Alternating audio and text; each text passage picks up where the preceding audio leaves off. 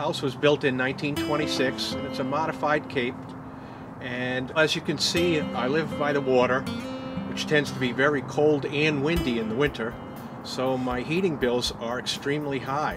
Last month I paid $350 and I'm not in the middle of the winter yet. So I'm hoping that uh, the RISE engineer can come and tell me how I can reduce my heating bills, uh, save on energy, and therefore reduce my carbon footprint. Hi, I'm Tucker Silver of Planet Forward. I'm here with Eileen Barrett of Rise Engineering here in Barrington, Rhode Island. Uh, we're going to do an energy audit today. Now, Eileen, what can you tell me about this whole process of energy audit? What I'll be doing is a full house analysis from top to bottom, figuring out how this house is using whatever fuel it's consuming, how is it losing it. Let's start by going inside and seeing what the homeowner's needs are. All right, sounds good. Great.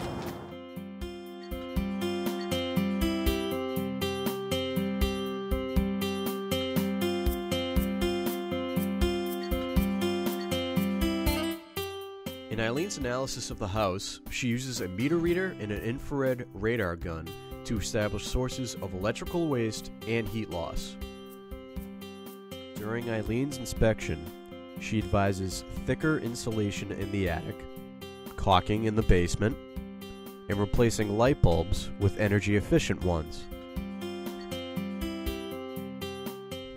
In her final step of the evaluation, Eileen installs a blower door which creates a vacuum inside the house. This reveals drafts throughout the house, supporting Eileen's recommendations as to caulking and fiberglass insulation.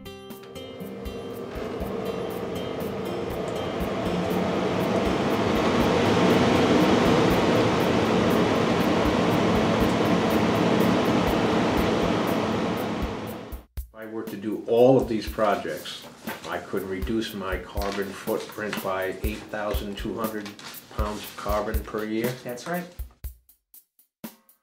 National Grid contracts Rise Engineering to do house energy audits for free, as well as offering rebates towards reducing your carbon footprint within your home.